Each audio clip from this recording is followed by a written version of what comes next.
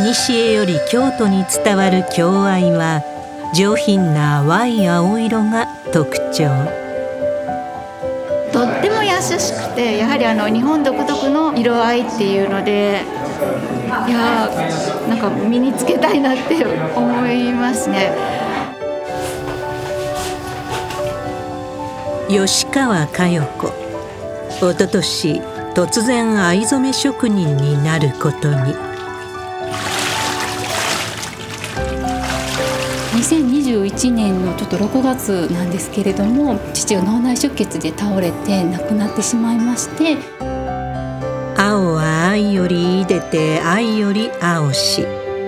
京愛を使った藍染め職人だった父の背中を越えられるか。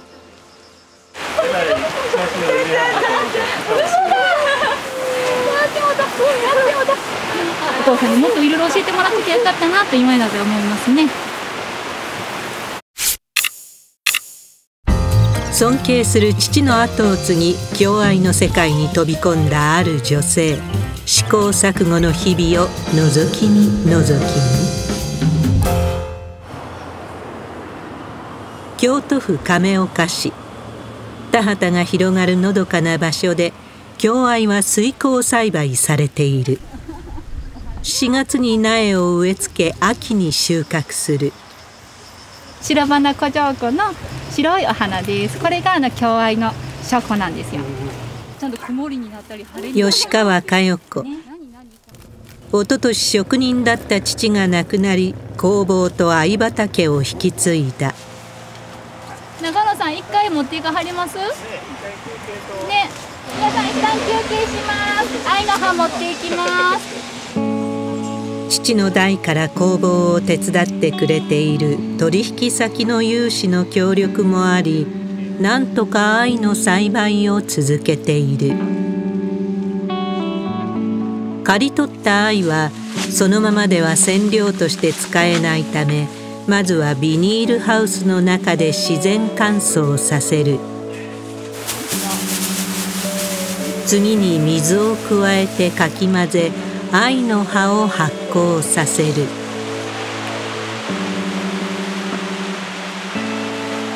23日してくるとどんどんと、ね、温度が上がっていって、えっと、4日目5日目ぐらいになると60度ぐらいの温度に上がっていきます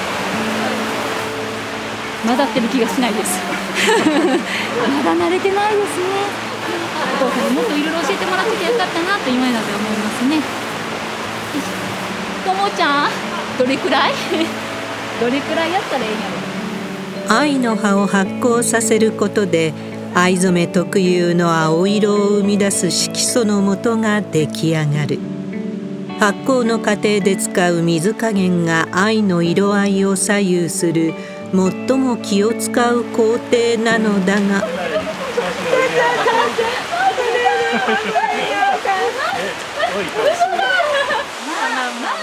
勘違いして水を多く入れすぎた。ちょっと何倍いくんかなと思いながら。パパカットでカットでお願い。します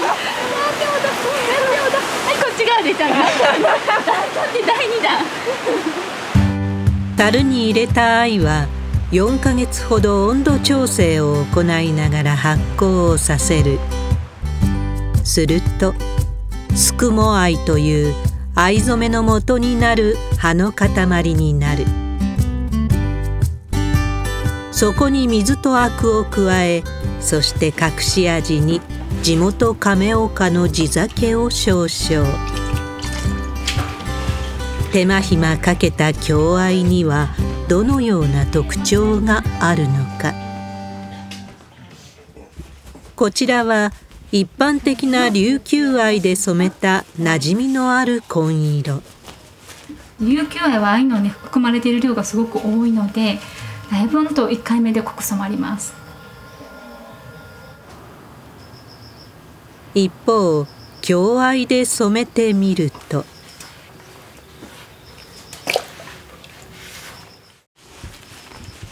だいぶ浅いあの優しい色合いになります琉球だと一気に濃くなってしまうので京愛の方がすごく優しい色合いを出すのが得意です。京愛特有の淡い色。これこそが父が愛した京都ゆかりの愛の色。佳代子は京愛の魅力を発信したいと考えている。父もこれを今後どういうふうに展開していこうかっていうのをあの考えているところだったと思いますね。引き継いでなんとか私の方で京都の愛を皆さんにあのお手元に届けていけるような形にしていきたいなと思っています。もともと佳代子はホームページをデザインする会社で働いていた。その経験を生かし、共愛の商品を販売できるショッピングサイトの制作を始めた。隙間隙間でもう朝の4時に起きて2時間だけやったりとか夜にやると目が冴えてしまって逆に寝られなくて徹夜で会社に行ってしまったりとか。これもうオープンしてからもちょっとずつちょっとずつ変更していく。すみません。ごめんなさいね。6月の小学生の娘を育てるシングルマザーでもある佳代子。育児と工房での仕事を両立させながらのホームページ作り。原動力は父の存在だ。工房を立ち上げた父、吉川圭一。人生をかけて共愛に取り組んだ職人だ。この父が一番かっこいいですね。普段こんな寒いなんて着ひんのですけどちゃんと写真ちゃんとした写真撮りたいから寒い来て言うて そこでピタって止まってとか言うて。京都では古くから京の水愛と呼ばれた愛が栽培されていた。最高級品とされていたが時代の流れとともに廃れてしまうその共愛をもう一度育てよみがえらせることが父の夢だった。やりたいって言ったことが全て実現していく。でポジティブやし人も集まってくれるし愛もすごく綺麗に育って人の愛も集まってくるっていうようなすごい偉大な父でしたね。しかし2021年6月共愛の栽培も軌道に乗り始め、まさにこれからという時に、父は68歳でこの世を去った。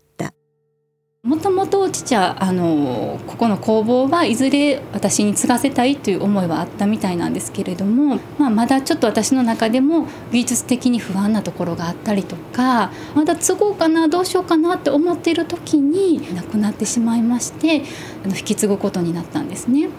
最初はちょっと怖かったんですけれどもこんだけね父のことを応援してくださってあの協力的になってくださる方がいらっしゃるのでここで終えてしまうのは本当に申し訳ないなという思いと父がねこんだけ頑張ってきたのでもうできる限りのところまではあのやっていきたいなという思いであのやっている感じですね。天然染料の魅力を発信するイベントで佳代子は共愛の魅力を知ってもらうためトークイベントに参加。積極的に情報発信も行っている。さらに佳代子がデザインした共愛ブランドを立ち上げ商品開発を始めた。簡易的な写真になってしまうと思うんですけれども出して。これねあのワンピースなんですけれどもこれをねあのネットショップではメインであの販売していこうかなと思ってるんですけれどもフェミニンなシルエットで着こなし自由なフリーサイズのワンピース。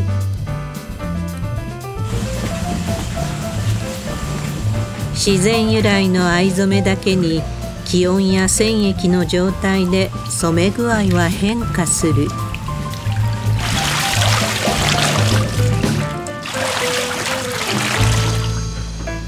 共愛の魅力を詰め込んだ佳代子のワンピース。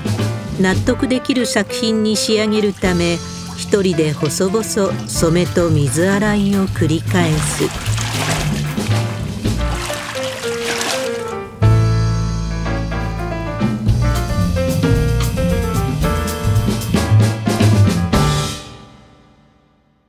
これがあの私が絞りのデザイン考えてきたやつでしてこの日は取引先との打ち合わせ新商品にどのような染め模様をつけるのか生地をさまざまな形で縛り試し染めを行ってみる。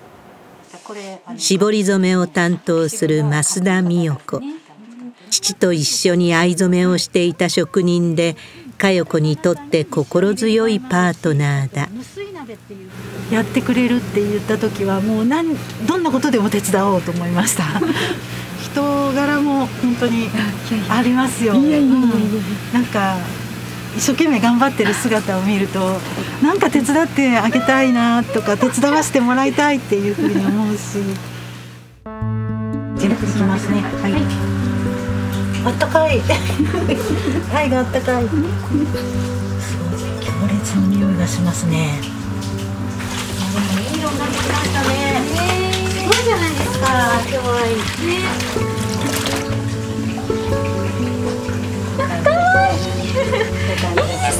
ね、はい、すごくあ、うん、めっちゃ可愛い。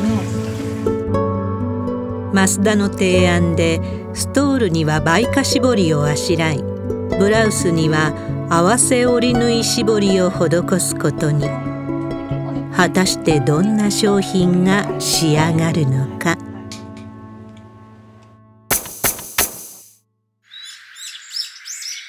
行錯誤すること半年京愛を使った看板商品が完成。モデルに来てもらい、商品撮影が行われた。あ、いい感じですね。はい、1、2、3。あ、手つけても大丈夫です。ここ似合ってるよね。可愛いね。新情報が。京愛で染めた淡いブルーのワンピース。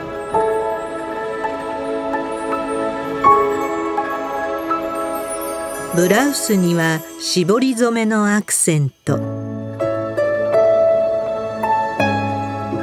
共愛でグラデーションを描き量感のあるストールも完成した。佳代子が立ち上げた藍染めブランド共愛花。大量生産はできないが共愛の魅力が詰まった商品が並ぶ。父がここの工房で一緒に働いている時にも早くネットショップはやりたいねんやりたいねんっていうことをずっと言ってたんですけれどもやっと形にすることができたなと思っています。ただまだまだ商品点数が少ないのでこれからどんどんとあの増やしていかないといけないなと思っています。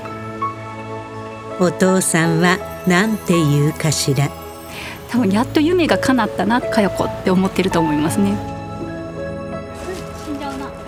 去年秋水加減を失敗したすくも藍水分含んだあの多めに入れたすくも藍の方が発酵がものすごく強くて。まさに怪我の巧妙。水を多く入れた方が藍の発酵が進んでいた。父に教えてもらった水分量より少し多めに混ぜてあげた方が愛の発酵は良かったんじゃないかなと。これでね正解というわけではないと思うのでどれくらいの量にしてあげたらもっといいものができていくのか今後も研究していきたいなとは思います。父が追い求めた共愛の魅力。上品で涼しげな藍色を求める修行の日々はまだ始まったばかりだ。ご覧いただきありがとうございました。チャンネル登録ぜひお願いします。月曜から金曜の夕方は関西情報 Z 10